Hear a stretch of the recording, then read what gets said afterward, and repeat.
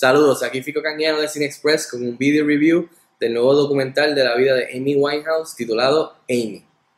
Dirigida finalmente por Asif Kaspadia, también conocido por el documental Sina, este documental nos presenta el meteórico ascenso del artista Amy Winehouse debido a su inmenso talento y voz encantadora, al igual que lamentablemente la caída en desgracia debido a sus excesos en el alcohol y las drogas y también su enfermedad, la bulimia. Primero vamos con lo bueno. Eh, la dirección de Asif Kaspadia me pareció una muy buena. Eh, de la manera, eh, o sea, la dirección me pareció, el tratamiento que le da a este documental sobre la vida de Amy Winehouse me pareció balanceada, me pareció respetuosa y me pareció poderosa en, varios momentos durante el documental.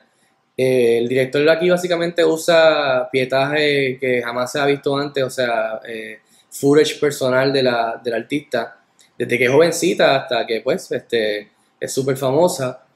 Pero me pareció interesante verla, ver, ver este talento este, natural, de la voz que tiene Amy, el talento que tiene como, como artista, desde tan pequeñita, o sea, desde tan joven, eh, tocando guitarra con sus amigos, tocando piano. Y esto es, me pareció este, fascinante verlo especialmente yo que me encanta la música y vengo de, o sea, de background de música, este, desde mi familia. Y verla en este, esta, esta trayectoria, eh, a, llegar a la fama, pues me pareció genial. Ahora, también el director utiliza eh, footage de performances en vivo de Amy Winehouse.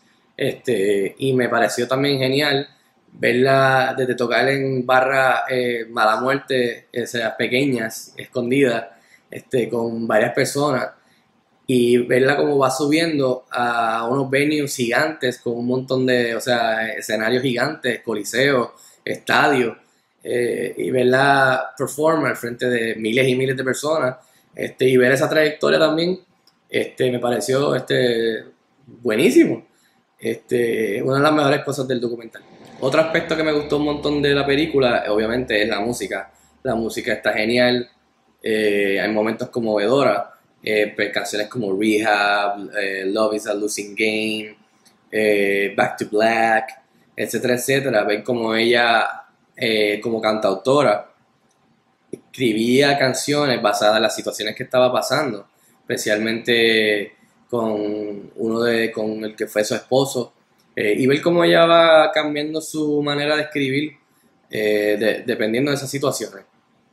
Así que les exhorto que vayan a iTunes o Spotify y busquen el soundtrack de la película o busquen la música de Amy Winehouse, que me parece eh, muy buena y definitivamente una voz, de, una voz, ella era excelente, o sea, era una, una artista con una voz para jazz, con mucho soul, eh, incluso la película tiene una parte ya casi al final donde ella colaboró con Tony Bennett, que era uno de sus ídolos, y eso me pareció uno de los aspectos fascinantes del documental. También tengo que añadir que el director, de la manera que toca los Good Times de Amy Winehouse eh, y los Not Good Times de Amy Winehouse, ya para el final, desde que cae en las drogas y el alcohol, este, me pareció que de la manera que lo hizo fue una manera imparcial, eh, respetuosamente, como ya dije, y ese balance mm, me pareció bien importante para que funcionara el documental y más que nada fuera, o sea, un testamento al talento de ella. Eh, eh, para que nada, otras generaciones pues vean quién fue ella y por qué fue importante para, la industria de la música. Entre las cosas malas casi nada, en verdad lo único que yo diría es que el director utiliza entrevistas también, eh, muchas entrevistas de los, las personas cercanas a ella a través de su carrera, mm, familia, amigos, el equipo de trabajo de ella. Y esto es muy bueno, pero me quedé con las ganas de ver este, el punto de vista eh, y su opinión eh, en la película, o sea, en el documental. Me hubiese gustado ver más entrevistas con ella, porque las poquitas que hay, este, básicamente son eh, footage de entrevistas que ella en verdad hizo eh, públicamente cuando estaba en tour, cuando estaba en publicidad. Pues me pareció interesante, incluso algunas veces me pareció cómico, este, la manera que ella era bien cómica. este, sarcástica, eh, witty. Eh, y, me hubiese gustado ver más de, ella, o sea, el punto de vista de ella y, porque las, pocas, las poquitas veces que veo, vi la, la, la, opinión de ella, el punto de vista de ella, me, parecieron, me pareció interesante y, y de las cosas más, más chéveres del documental. En fin, en Puerto Rico no llegan muchos documentales a los cines, así que les exhorto que vayan al cine este fin de semana, vean Amy, eh, una tremenda exploración de, cómo subió a ser tan famosa y cómo pues lamentablemente eh, pues cayó eh, su decline, este, los buenos momentos y los malos momentos.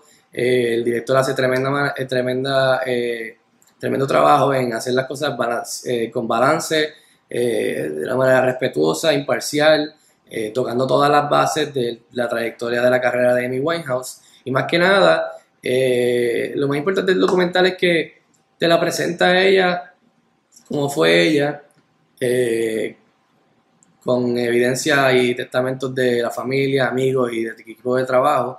Y básicamente te la presenta como esta artista eh, con un talento y una voz natural brutal que fue importante este, para la industria y más que nada como esas viejas historias eh, que cuentan de este talento eh, natural, raw, que lamentablemente sube como un meteoro y lamentablemente debido a las drogas, el alcohol eh, y otras cosas, otras situaciones, pues cae. O sea, es historia vieja que ya conocemos, cliché de rock and roll y de muchos artistas que en la historia pues le ha pasado eso, pues también es importante verlo de esa manera. Así que les exhorto que vayan a verla yo le doy 3 estrellas y media de 5. Pueden leer la reseña completa en cinexpresspr.com. Pueden seguirme a mí en Adfico Canjiano, pueden seguirnos en cinexpresspr. Déjennos saber, vayan al cine, vayan a verla. No, muchos documentales llegan a Puerto Rico y este es uno de los mejores documentales del año. Así que salgan a verlo. Escuchen la música de Amy Winehouse y nada, nos vemos en el cine.